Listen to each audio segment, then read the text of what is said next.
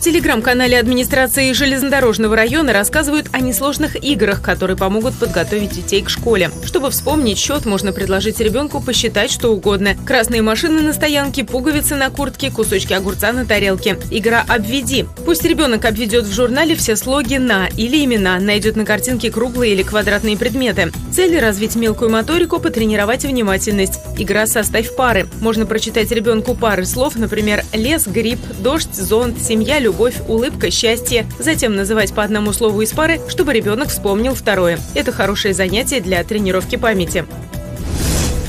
Департамент опеки и попечительства сообщает, что началась запись на курсы компьютерной грамотности в Самарском дворце ветеранов. Курс рассчитан на три месяца. Занятия будут проходить два раза в неделю по полтора часа. Записаться можно по телефону, указанному на экране. После успешного обучения перед выпускниками откроются возможности чтения свежих новостей или книг через интернет, просмотр любимых фильмов и сериалов, общение с одноклассниками, родственниками и коллегами в социальных сетях. Запись на прием в поликлинику, покупка билетов и товаров онлайн, мониторинг цен цен на лекарства.